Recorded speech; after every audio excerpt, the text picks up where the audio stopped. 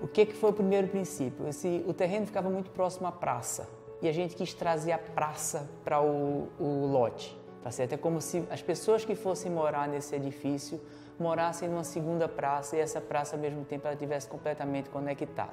A ideia nossa é fazer uma coisa atemporal, uma coisa que vai estar boa hoje, que vai estar boa daqui a 4, daqui a 20, daqui a 30 anos. Uma planta extremamente flexível. Você pode deixar um grande vão, você pode diminuir os, os espaços, pode aumentar os espaços sem nenhum limitador praticamente estrutural ou de qualquer outro tipo. É um prédio para se vivenciar de fato o bairro da Madalena, que eu acho um dos bairros mais charmosos que a gente tem em Recife e que até hoje foi muito pouco explorado. Acabou o muro, acabou o muro mesmo. No, no Santo Cecílio não tem muro. A gente está propondo fazer um edifício onde as pessoas comprassem um produto e recebessem muito mais do que eles estavam comprando.